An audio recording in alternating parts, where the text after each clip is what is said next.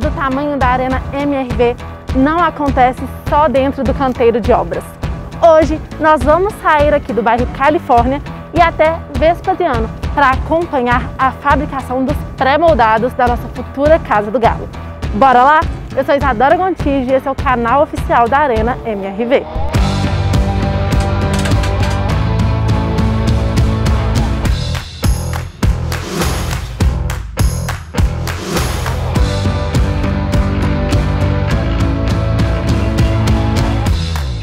Agora a gente está aqui com o Anderson, que é o gerente de operações da Precon, e ele vai explicar para a gente o que seriam esses pré-moldados e qual que é a importância dessas estruturas na obra.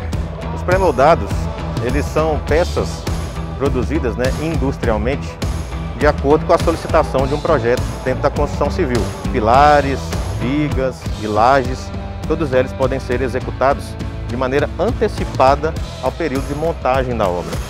E com isso a gente ganha em tempo, ganha em recurso, em termos de utilização e até de orçamento, além de conseguir garantir a qualidade para a execução de um projeto.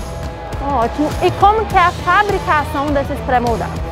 Ela passa pelo recebimento de um projeto, que seria o desejo do cliente, né?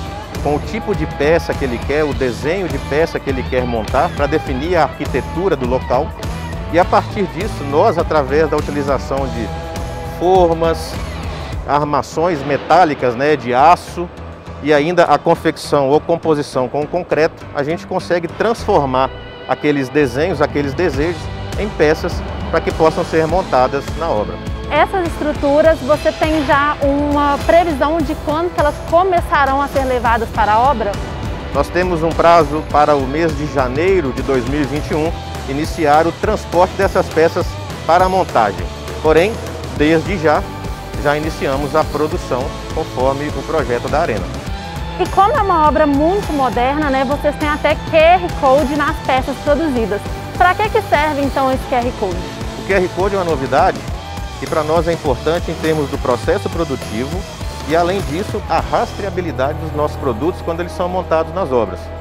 A gente a partir desse QR Code conseguimos saber a localização de todas as peças que nós temos no estoque, então isso facilita uma questão logística e quando a gente transporta e chega com esses dados na unidade onde vai ser montado ou no campo que vai ser montado, a gente consegue também checar se tudo aquilo que a gente está levando para a operação está de acordo com o projeto, com todas as características, a gente pode fazer essa mesma verificação em loco.